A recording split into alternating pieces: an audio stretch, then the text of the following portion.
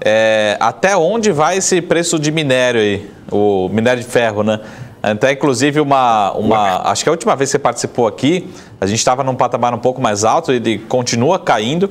E acho que, depois você me corrija se eu estiver errado, mas acho que vocês, você particularmente tem uma opinião de que o minério de ferro pode continuar o movimento. Então eu queria entender se realmente há uma expectativa que ele continue caindo e por que também, né? Qual seria o racional, porque acho que tem uma, alguns bilhões de dólares bastante preocupados aí com, esse, com essa tendência de minério de ferro, né? Perfeito. Então, Marco, quando o minério estava 200, eu falava, o minério vai para 70, e vai mesmo, uhum. pode esperar.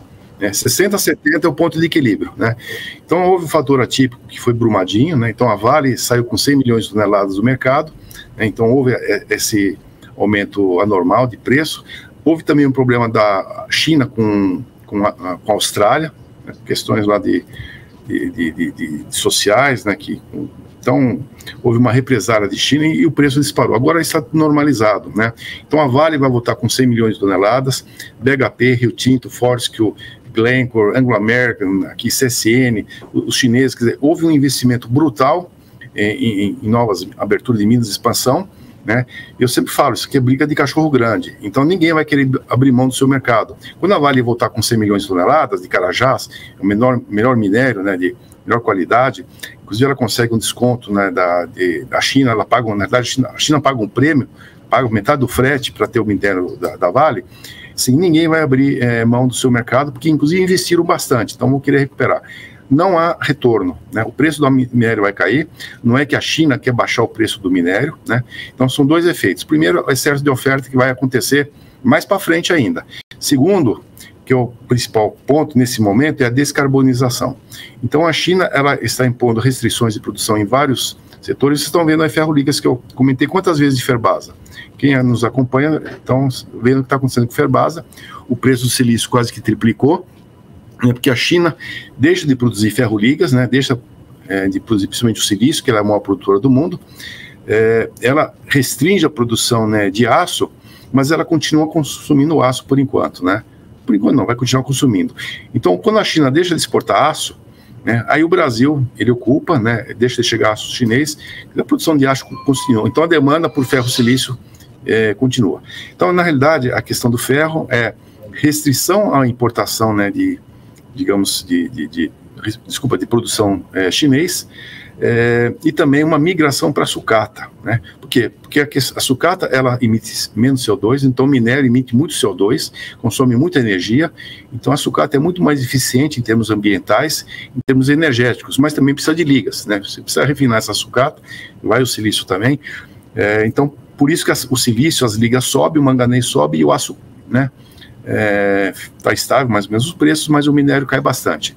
É, e outra coisa, à medida que os países vão se desenvolvendo, né, eles vão ficando mais maduros, eles passam a gerar muita sucata. Então, nós temos um estudo do Credit Suisse, né, de 70 páginas mais ou menos, inclusive participamos de uma conferência mundial com eles. O Credit Suisse aponta que a sucata que está em torno de 500 dólares vai cair para 140, 150 em 2030. Falei, como é possível, né?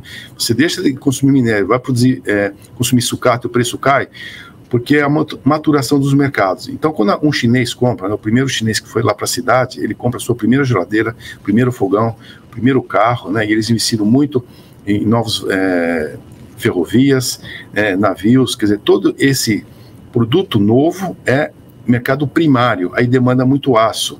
É, à medida que o mercado vai amadurecendo, né? Ele vendeu um fogão velho e comprou um fogão novo. Aquele ferrão velho vira sucata. Vendeu uma geladeira nova, comprou uma nova. Aquela geladeira nova provavelmente era de aço, compra de aço inoxidável. Ele trocou de carro, aquele carro velho vira sucata. Né? Aqueles navios que vão ser desativados, a indústria de petróleo vai ter descomissionamento de muitas plataformas, gasodutos, oleodutos, tudo vai virar sucata. Né?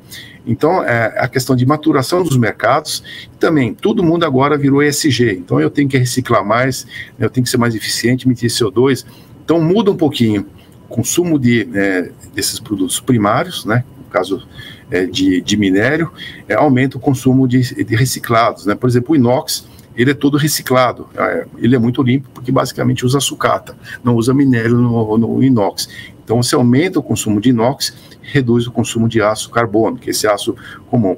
Então assim, não tem, é, não tem retorno. Né? Menor demanda por, por, por minério de ferro, você ter uma ideia, o aço cresce mesmo com China tendo crescido muito nos últimos anos, o consumo mundial de aço, né, a produção cresce 2,2 né, nos últimos 10 anos.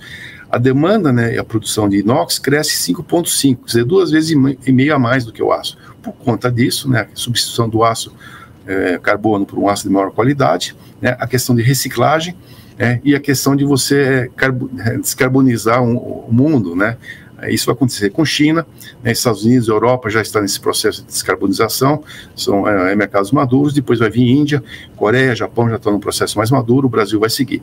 Então, Marco, é uma, é uma combinação de fatores, eu digo que hoje o principal é descarbonização, o segundo será é, a oferta adicional de minério de ferro, né, primário das principais companhias do mundo, CCN diz que vai fazer 100 milhões, né, imagine se é possível.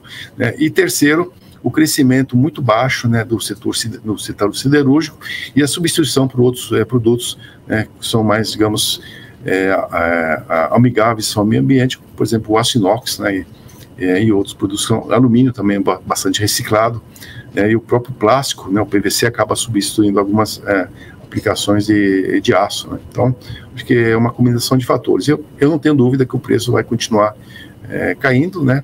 E aí de novo, briga de cachorro grande, quem tiver menor custo, né, você vai baixando até uhum. você conquistar o mercado que você acha que. Como a Vale, né? Ela tinha 400, foi para 300, ela vai voltar para 400. Quem não, não tiver qualidade de preço, vai sair do mercado. É isso que vai acontecer. Pelo menos na minha opinião, e de outros que eu tenho visto aí, né, que são bastante. Por exemplo, do uhum. Suisse, eu vi outros estudos que caminham na mesma direção. Infelizmente, o pessoal da Vale, né, que eu, eu vejo é a ação mais recomendada pelo mercado, né, e é a top pique aí de todo mundo, esquecem Brumadinho, né, se tem um passivo ambiental muito relevante, esquecem também a, a Mariana, né, que também tem vários credores que estão acionando né, a BHP e a Vale, então esse passivo vem, e muitos investidores que não investem mais em Vale. Por exemplo, aqui o Nordbank, então vários outros, por questões ambientais, né, de ESG. Então você não tem mais esse mercado comprando Vale. Né? Imagine, eu quero vender, né, esses grandes fundos é, mundiais não vão comprar Vale no momento que o preço está caindo. Você vai ver já já essas corretoras vão mudar de recomendação e aí vai ser aquela correria né, de quem vende primeiro para tentar pelo menos salvar algum lucro ainda que tem numa gordura. Então, eu estou bem, digamos, pessimista em relação a Vale, feliz, né, porque o Ibovespa né, ela tem um peso grande, é a nossa referência em alguns fundos, sim, então ela vai arrastar. E outra notícia boa, Marco, é muito importante para nós, né, que a sucata está caindo, que vai cair, a sucata acompanha o Gusa, a Gusa está caindo, o sucata está caindo, as uhum. fundições, né, que é o caso da Tupi, é o caso de, de, da Schultz, caso de outras empresas, que usam a sucata como é o principal custo, a sucata.